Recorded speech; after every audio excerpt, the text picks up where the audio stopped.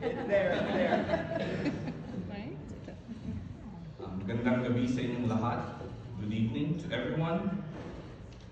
As a child, I attended a public elementary school in the bustling city of Manila, Philippines. Every day, the entire school gathers on the school grounds for the morning assembly. There, we will sing the Lupang Hinirang, the Philippine national anthem. Then we say the Panatang Makabayan, or the Philippine Patriotic Oath, followed by a morning exercise routine to the tune of Olivia Newton-John's Physical. Classes start at 7 a.m. and end at 12.30 p.m. But my learning didn't stop when the school bell rang at 12.30. That was just the beginning. With my dad working abroad and my mom busy with her afternoon job, school became my sanctuary, a place where I continued to grow long after classes ended.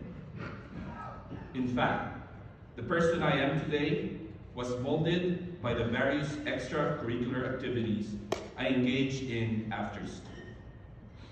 None more so than the Boy Scouts, where the scout motto, Laging Handa, meaning be prepared, became a guiding principle in my life.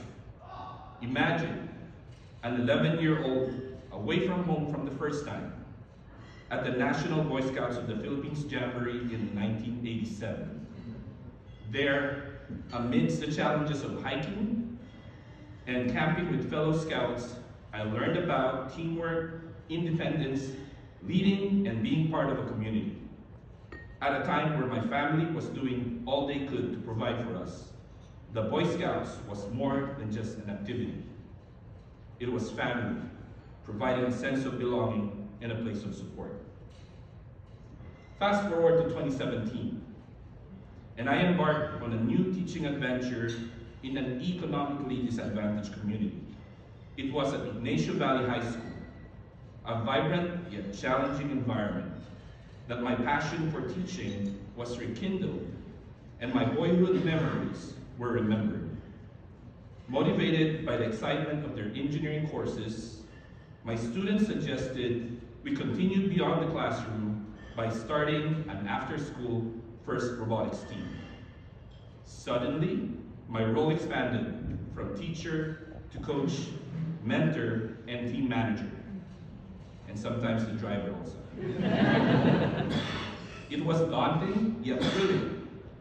As we dove into this after-school project, our community rallied around us, offering grants, donations, and mentorships.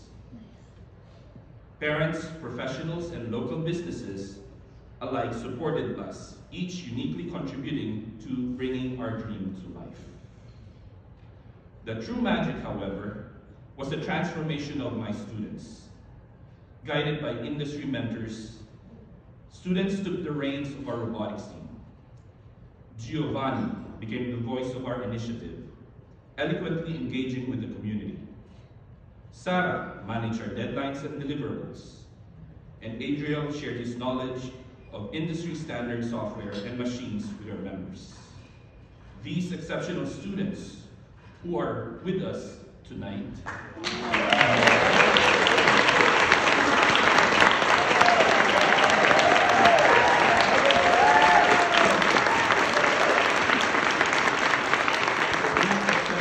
Students who led and support their peers are doing more than just using classroom knowledge to build robots. They are mastering collaboration, critical thinking, and creativity, confidently presenting their ideas to the community and emerging as inspirational leaders. Reflecting on my journey, from a young boy navigating the streets of Manila to standing here as California Teacher of the Year, it fills me with an immense sense of pride and gratitude. A journey that started in a modest school in the Philippines, 6,900 miles away from here, has led me to this moment, a testament to the incredible impact of learning beyond conventional boundaries. these after-school learning opportunities, for me, it was the Boy Scouts, for my students, FIRST Robotics, have not only sculpted my path of lifelong learning, but are now significantly influencing the lives of my students. This is the essence of authentic learning, where the knowledge gained in classrooms fluidly merges with real-life applications, where curiosity ignites new discoveries, and where my journey as a teacher is deeply interwoven with the dreams and aspirations of my students. First Robotics is more, more than an activity for my students. It is family, providing a sense of belonging and a place of. Isn't it remarkable that the lessons I learned from a small school in Manila are now resonating in the hearts and minds of students here in California? Yet the crucial question we must ask ourselves is this. What limitless potential can we unlock in young minds when we bring these expanded, real-world, community-supported learning opportunities to every school in California? Maraming salamat po. Thank you very much.